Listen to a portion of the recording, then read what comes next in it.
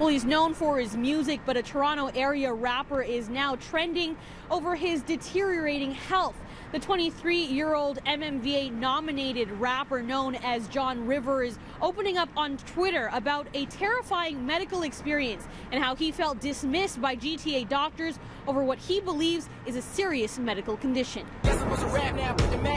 In a series of Twitter posts, the rapper, whose real name is Matthew Derrick-Huie, says he went to the ER multiple times last month for chest pains and was repeatedly sent home by doctors who chalked it up to stress and anxiety.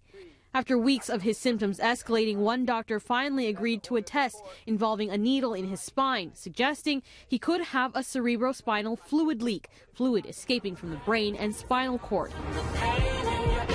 But the rapper claims doctors haven't been able to get approval to give him treatment for it because his tests keep coming back clean. The symptoms are so bad now, he writes, he spent days sitting in a closet because of intense sensitivity to light.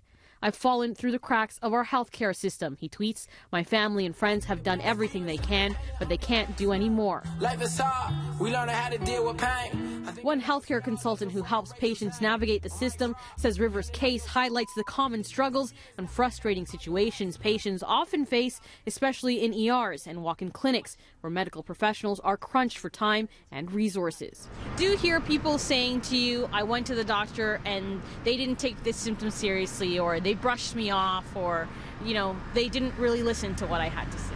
Absolutely. And that's the problem with effective communication. It's the listening piece that isn't there. It really takes a good um, history taking to really know what's going on with the patient. And sometimes it can be a, a number of different things.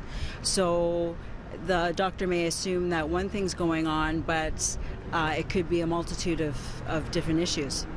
I think it's very important, and I think we all need our know our bodies the best. And I think that you can have some sense of insistence, not threatening, obviously, or you could ask for a second opinion. Most large uh, ER facilities have. Uh, several doctors. You can also talk to a patient relations person in the hospital if they're having issues or the manager of the unit.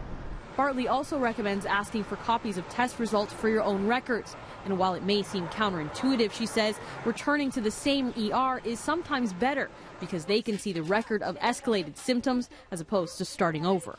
Now, Rivers' family said they weren't ready to speak with the media today, but his assistant tells us that he is at home still dealing with many of those symptoms, and he did put a call out on Twitter asking for the public's help in finding a medical professional who can take his case and help him get the treatment he needs. In Toronto, Janelle Massa, City News.